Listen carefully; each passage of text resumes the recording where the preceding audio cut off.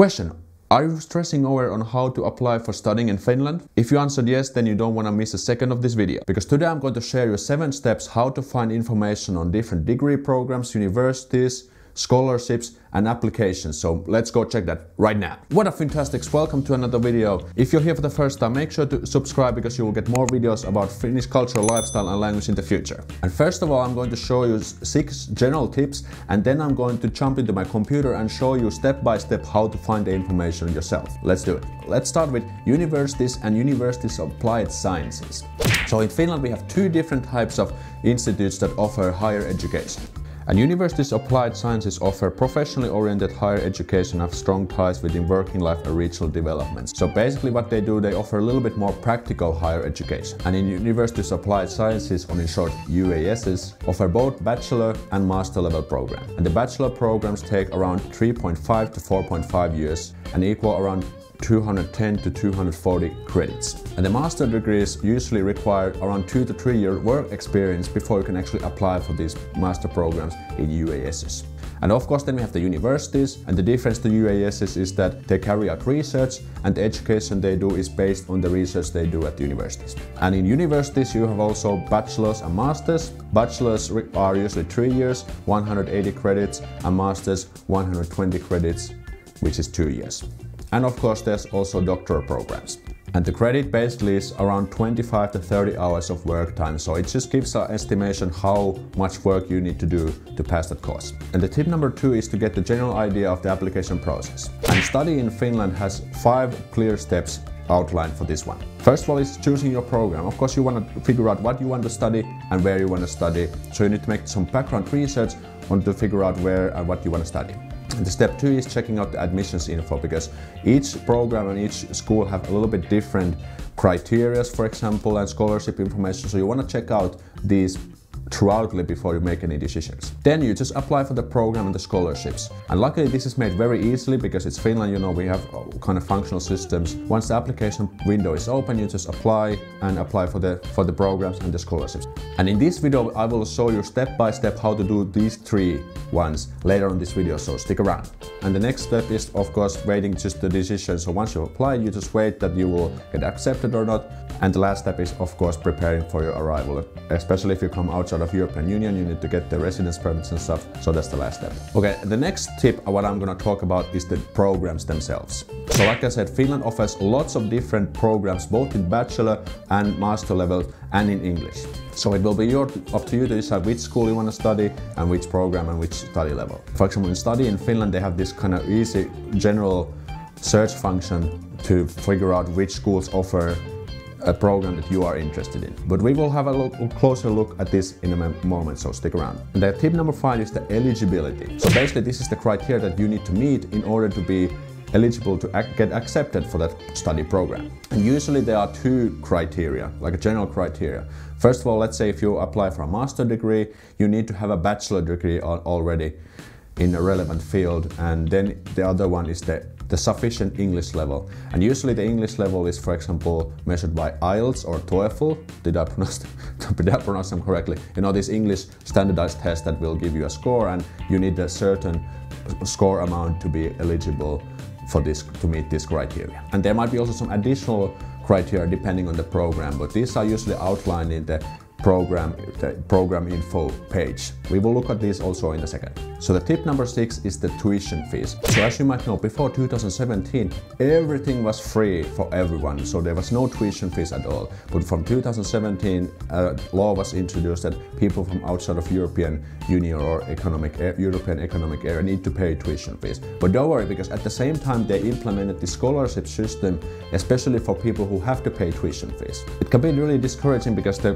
tuition fees can be like 10,000 euro for an academic year, so that's a crap load of money, isn't it? But like I said, the good news is that the schools have their scholarship programs and you can also apply for the scholarships once you make the application to the study program itself. So you can do it seamlessly while you just make the regular application. And also remember that each school has their own scholarship program, so you want to check them out as well. But we will be having this also in a moment, so stick around. And also interesting point to keep in mind that only the degree programs taught in English are tuition fees or have tuition fees. So if you apply for a program that is taught in Finnish or Swedish, there's no tuition fees. So in case your Finnish level is you're pretty fluent already, you might consider just applying for the Finnish programs because there's no tuition fees. Okay, now we talk about the general tips. Now let's jump to the computer and have a look at some of these degree programs about the tuition fees, scholarships, criteria, and so on. So, so let's jump right there. All right, guys. So here we are at, at the computer and we are looking at studyinfinland.fi. Make sure to check out this one. This gives a really good, like a general information about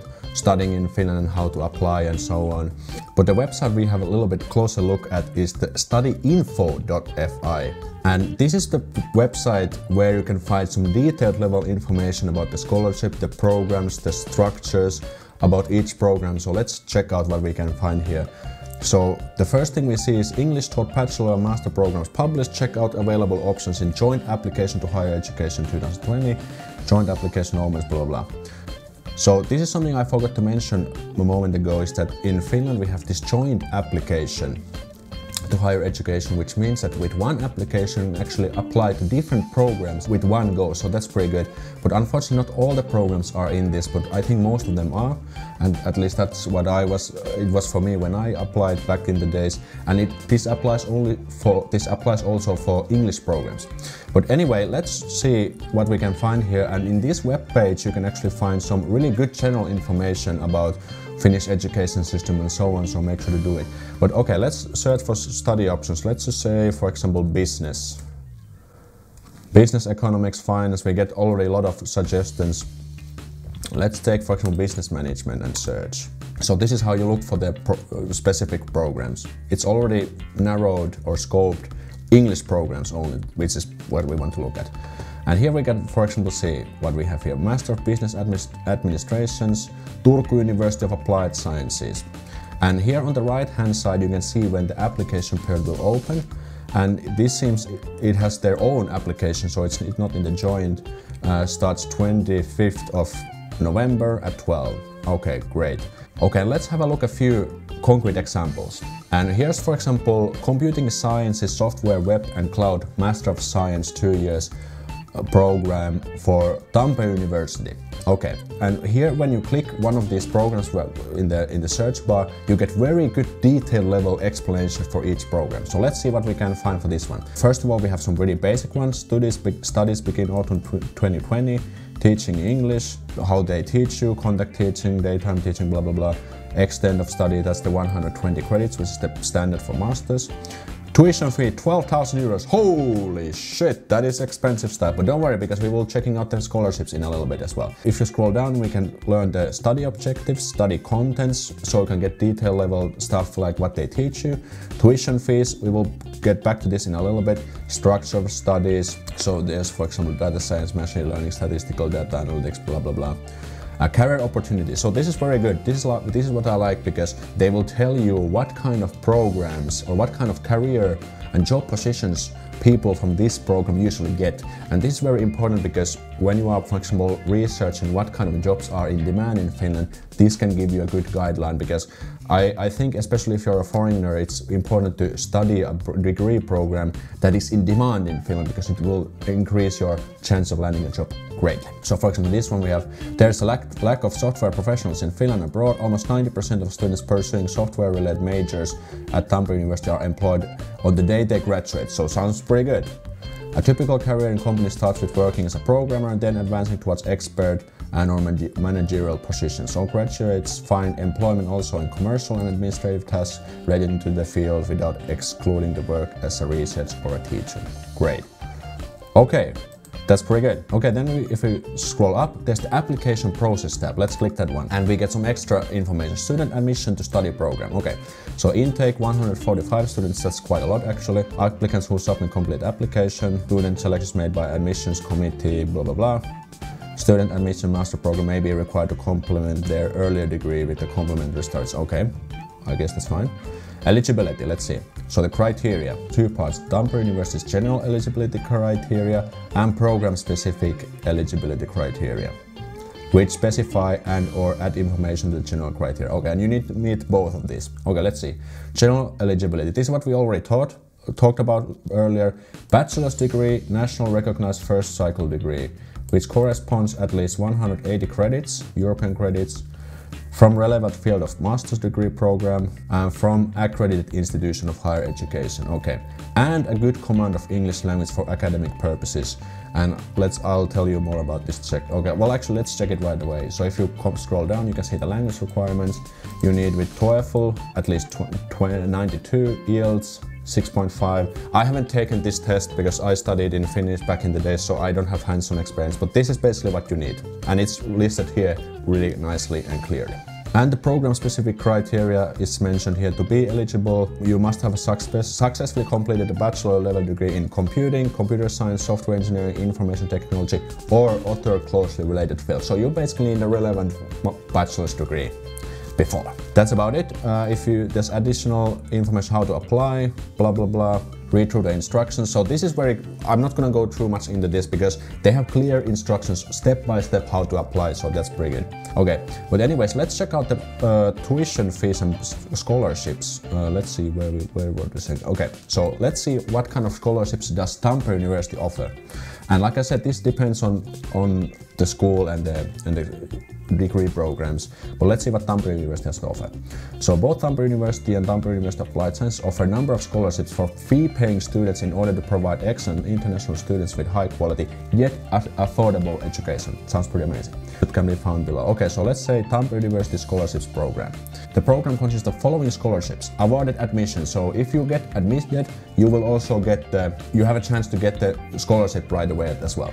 So Tampere University Global Student Award Academic Excellence include a 7,000 euro annual scholarship to cover students' living expenses during the first year of a bachelor master's degree program, program as well as tuition fee scholarship covering 100% of the tuition fee in three years bachelor's or two-year master's degree program for, or both if the study right grant leads to, from bachelor's to master's. So that's pretty good. You get 100% tuition fees covered and 7,000 euro for your living expenses. So that's actually pretty goddamn good scholarship, isn't it?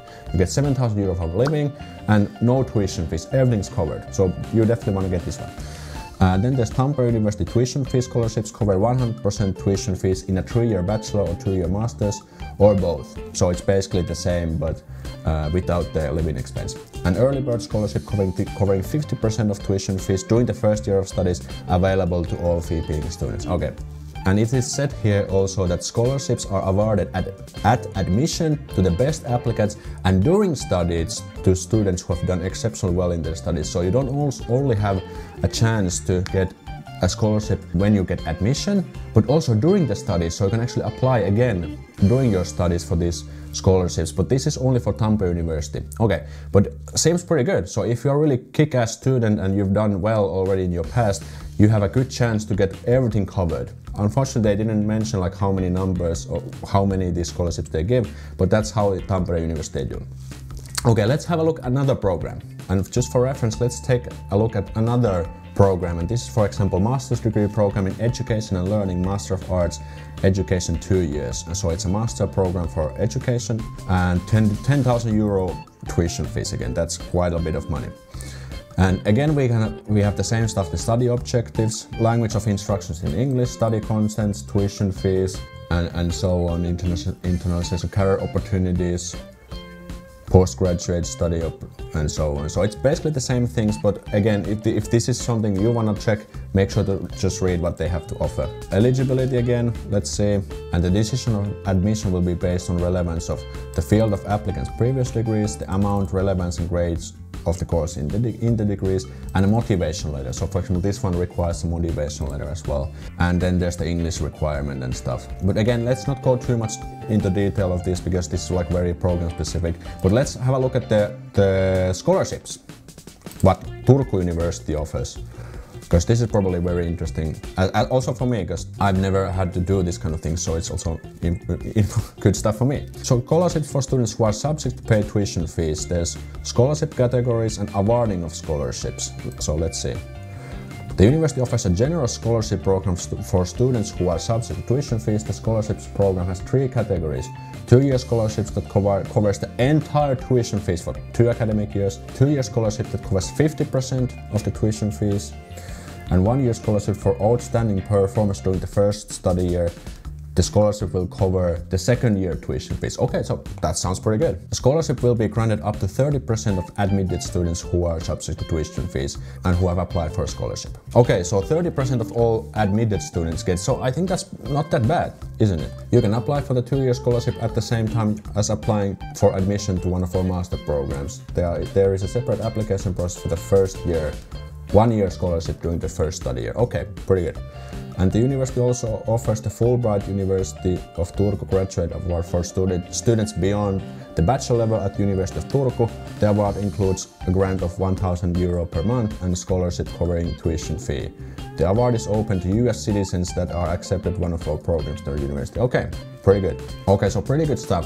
And this is how you should do it. So once you know what you want to study, go to this portal, write in, type in the, the keywords, the, for example, the field of study you want to study, and see what they have to offer, see what kind of schools there are. Of course, there will be quite many because there's a lot of different programs and stuff. Check out the scholarship stuff if you if you are coming outside of European Union. And, but this is the place where you can find everything. So this is just like a general idea how the platform works, but as you can see, you can get some pretty good information about everything you need to know. So make sure to check out the platform and as you can see the application periods are opening in a few months so this is a good opportunity to see what they have to offer and this is how you can start to build your dream to come to study in Finland.